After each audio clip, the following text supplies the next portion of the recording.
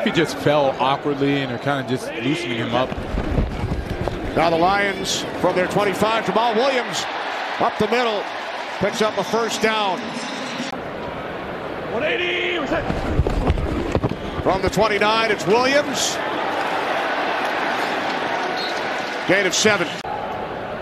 Kalif Raymond goes in motion from the 37 yard line. Out to the 44. Seven yards on first down for Jamaal Williams. Shark in motion. Play action on first down. There's Williams out of the backfield. And Jamaal Williams picks up first down yardage to the Bears 36. Of teaching us what it means to be emotionally ready for games, inspiring us to play better. From the 25 on first down, it's Williams.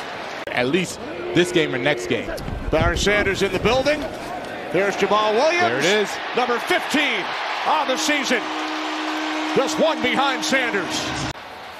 The two tight ends, I talked about how at the point of attack, they do such a great job. Brock Wright, he's going to go out like it's a pass, and because of that, it brings DeAndre Duckett. That's right, down in New Orleans. But we thank the men and women who travel with us every week, brave the elements on many occasions. Williams ruled down at the 39. There's Williams across midfield. And when you talk about this Lions run game, giving his team a chance 180. What's that? to play some football past next week. Jamaal Williams, cross midfield, still going. Adding to the huge numbers for the Lions offense, in particular on the ground today.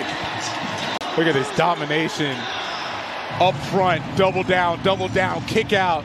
Jamaal Williams with the patience, sees the hole, bursts right through it, gives a stiff arm to DeAndre Houston Carson, off to the races.